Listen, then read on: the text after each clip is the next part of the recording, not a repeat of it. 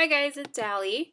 Uh, what is your most memorable, valuable learning experience? For me, one of my most memorable learning experiences was visiting Catalina Island when I was in the sixth grade.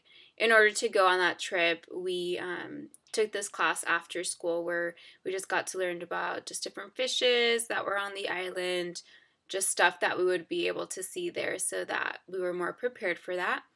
Uh, some of the specific things that I learned about while I was actually on my trip there was we went snorkeling at night a couple of times, so we were able to look at the different fishes that were native to the island as well as the reefs, and um, we just got to really learn what it was like to be outdoors, which for me, growing up in Orange County, was such a new learning experience because I had never been camping before.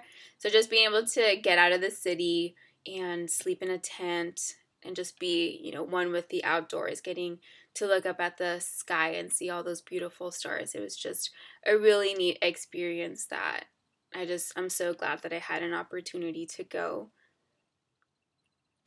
Would this experience uh, benefit another person? Why or why not? I definitely think that it would. I think especially for people that are like me and you know had never have never been outdoors or really anything like that. I really feel that you can really learn to appreciate what we don't appreciate living in the city, as well as this experience really helped spark my interest in science.